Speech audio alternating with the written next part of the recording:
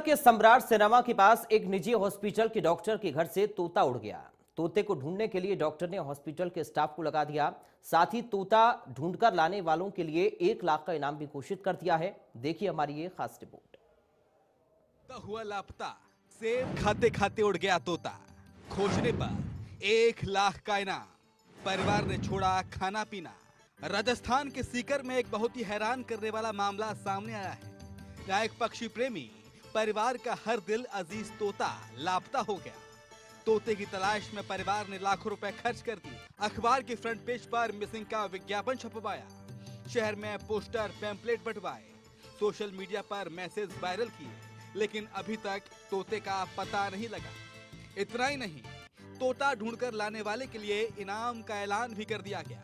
लेकिन तोते का कोई सुराग अब तक नहीं लग सका है। परिवार के लोग और अस्पताल का स्टाफ दिन रात तोते को ढूंढ रहा है।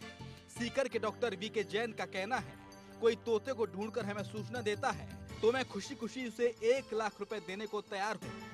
बताया जा रहा है कि जब तीन दिन पहले टेरेस पर तोते को सेब खिला रहे थे, इसी दौरान वो उड़ गया और वापस नहीं आया। तीन दिन से तोते को ढूंढ रहे हैं।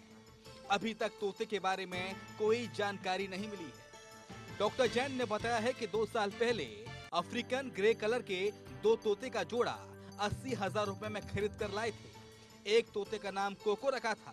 दो साल में कोको घर का सदस्य बन गया था। उसके चले जाने से घर सूना हो गया है। तोता दुर्लभ प्रजाति का है। एक हज़ार से ज़्यादा शब्द बोलता है।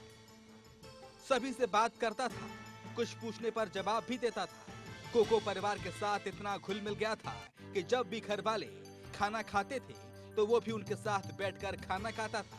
डॉक्टर जैन का पशु पक्षियों से खास लगाव है। उनका झुंझुनू बाईपास पर फार्म हाउस है। वहाँ उन्होंने बतख तोते, कबूतर, खरगोश, बिल्ली, कुत्ता, घोड़ा समेत कई पशु पक्षी पाल रखे हैं। लेकिन सबसे खास तोते को खो जाने के बाद अब पूरा परिवार उदास है। ऐसे में परिवार को इंतज़ार है कोको के घर वापस आने का। सीकर से इंडिया न्यूज़ के लिए मुकुल जोशी की रिपोर्ट।